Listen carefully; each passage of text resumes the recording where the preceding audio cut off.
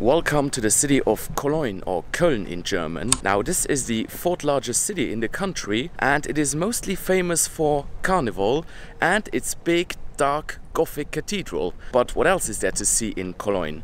Well that's what I'm here to find out.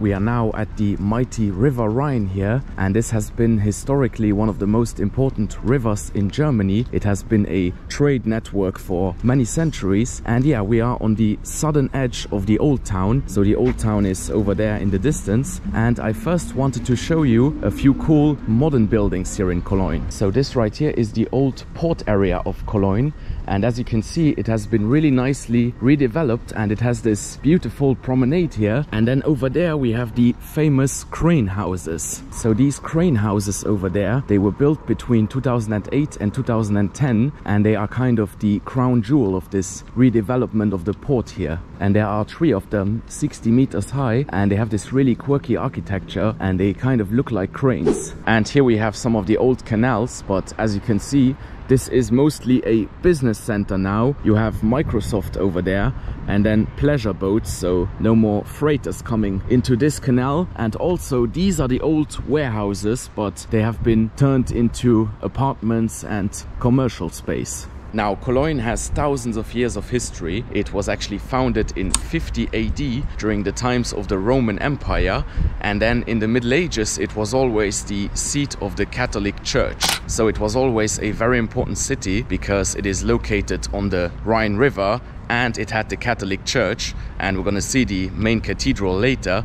But yeah Köln has been a major city for centuries. And yeah I actually really like this area because it is very modern but then you have these old warehouse type buildings so it's a nice contrast. Right we are now gonna leave this port area here and head to the old town. Now I say old town but unfortunately there isn't much of an old town left here because as you might have guessed between 1940 and 1945 the city was blown to smithereens and bombed to the ground during the World War II raids. So yeah, it was one of the most heavily damaged cities in all of Germany. But yeah, there are still some places left to see and we're gonna go check those out. Today is Sunday and the time now is around noon and you can see that the promenade on the Rhine River here is getting busier and busier. And this right here is the famous Heumarkt or Haymarket in English. And yeah, this is one of the main squares in Cologne. And as you can see, you've got some markets here. And during Carnival, this is where it's all happening. So Carnival is happening in the entire old town but this is one of the main stages that they have and yeah it is absolutely buzzing at that time. Now carnival actually happens twice every year in cologne on the 11th of november and then in february. So yeah if you want to experience the proper carnival culture here you have to come either on the 11th of November or in February. There are several different dates in February where the main events are happening but yeah carnival is one of the main traditions here in Cologne and it is one of the biggest carnivals in Europe now this old town right here in Cologne was completely bombed out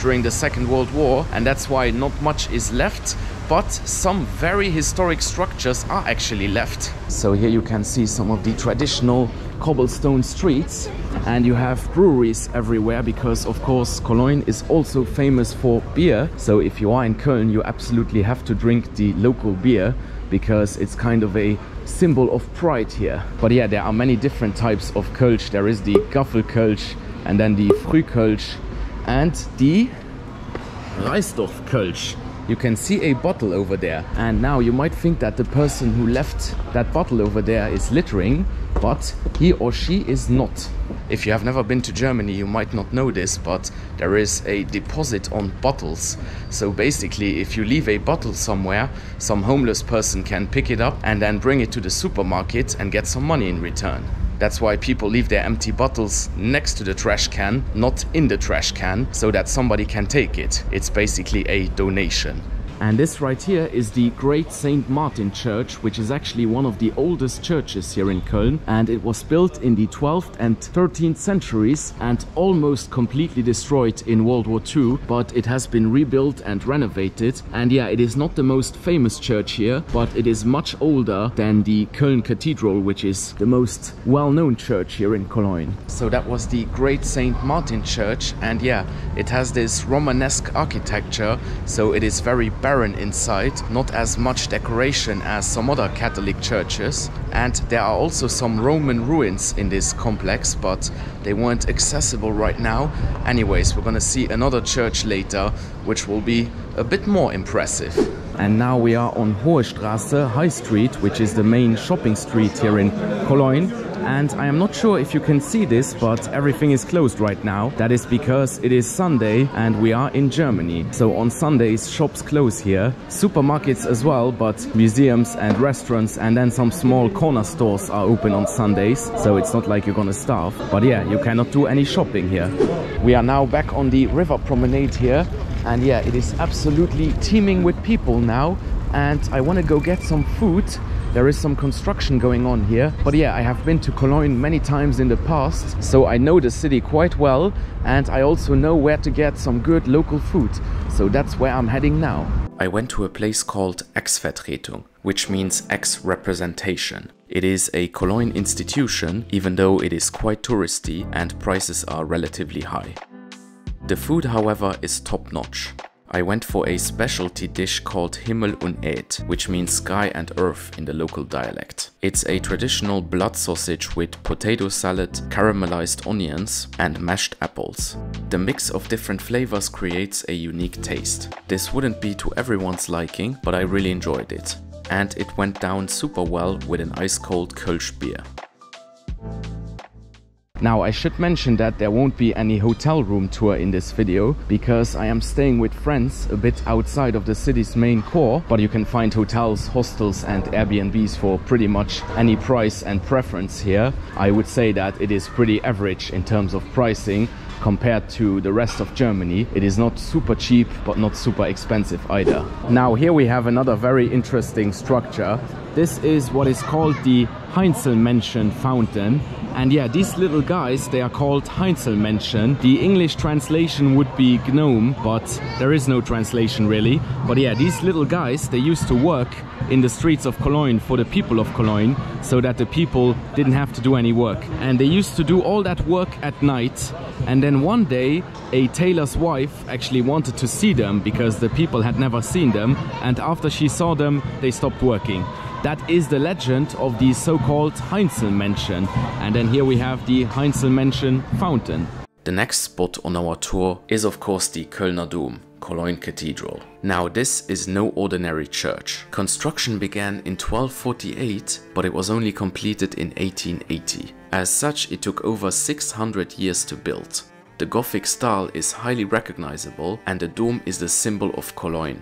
It is the tallest twin-spire church in the world and the second tallest church in Europe after Ulm Minster in Bavaria. It is also Germany's most visited landmark and attracts 20,000 tourists per day.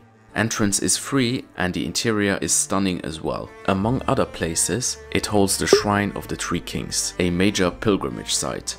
Now let's address the elephant in the room. This entire city was flattened by bombs in World War II. Why is this cathedral still standing? Well, it was bombed 14 times and it did suffer heavy damage, but it never collapsed and its facade remained mostly intact. That is why in the post-war period, Cologne Cathedral became a major symbol for the German economic miracle. In 1996 it was added to the register of UNESCO World Heritage Buildings.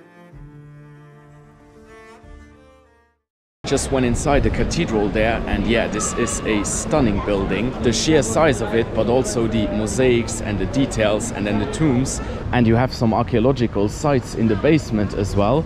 And you can go up to the tower, but to be honest, there is no point really because the city view without the cathedral in it isn't really that great. And here we have another very iconic landmark. This is the Hohenzollern Bridge And you know the story by now. This was destroyed in World War II. So the first bridge that stood here was built in 1907, but the bridge that you see now is from 1945. So it was rebuilt and it is now a train bridge and a pedestrian bridge. And it is actually famous for these padlocks right here. So couples can put a lock here, Sabrina and Chris for example, symbolizing their love. We are now back on the River Rhine here. The Hohenzollern Bridge is behind me over there. And yeah, I am signing off from here. Cologne is a lovely city to visit. Definitely include it on your Germany itinerary. And yeah, I didn't have much time here. I am basically just spending a few days in Germany in between bigger trips. But yeah, I still have another destination to cover and I am actually gonna move on later tonight. So yeah, thanks very much for watching and I'll see you in the next one. Goodbye.